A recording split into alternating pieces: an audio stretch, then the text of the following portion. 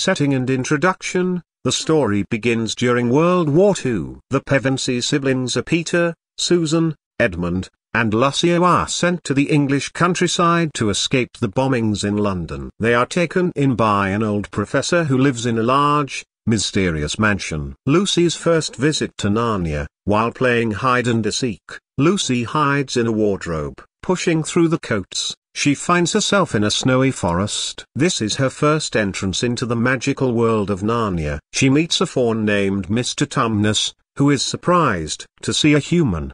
He explains that Narnia is under the rule of the White Witch, who has cursed the land with eternal winter without Christmas. Mr. Tumnus had intended to hand Lucy over to the witch but, moved by her kindness, he helps her return to the wardrobe. Edmund's encounter with the White Witch, Lucy tells her siblings about Narnia, but they don't believe her. Edmund, however, soon finds himself in Narnia after following Lucy. He meets the White Witch, who introduces herself as the Queen of Narnia. She gives him enchanted Turkish delight, which makes him crave more, and promises to make him a prince, and eventually king, if he brings his siblings to her castle.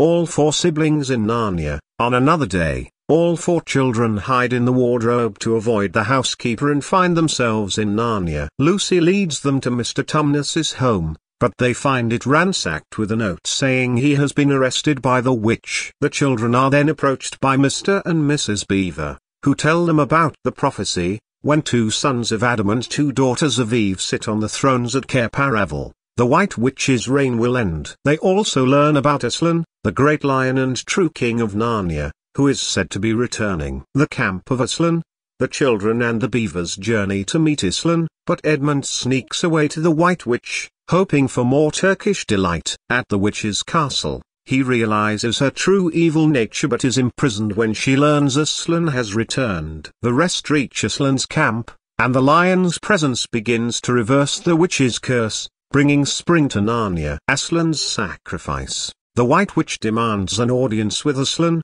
claiming Edmund as a traitor and, according to the deep magic, his life is forfeit to her. To save Edmund and fulfill the prophecy, Aslan secretly trades his life for Edmund's. That night, Susan and Lucy witness the witch and her creatures humiliating and killing Aslan on the stone table. The resurrection and battle, however, come dawn, the stone table cracks, and Aslan is resurrected.